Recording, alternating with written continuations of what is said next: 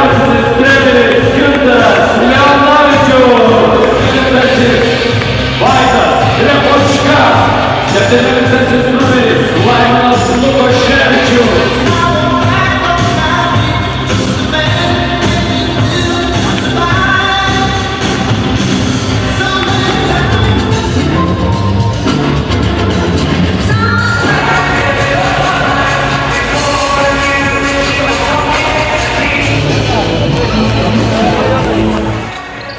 do Tashkent.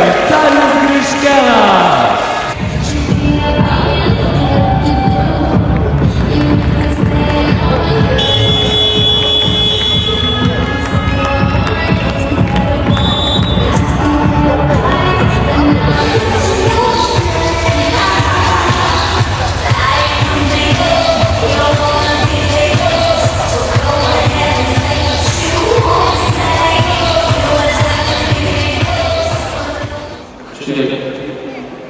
Yeah? So,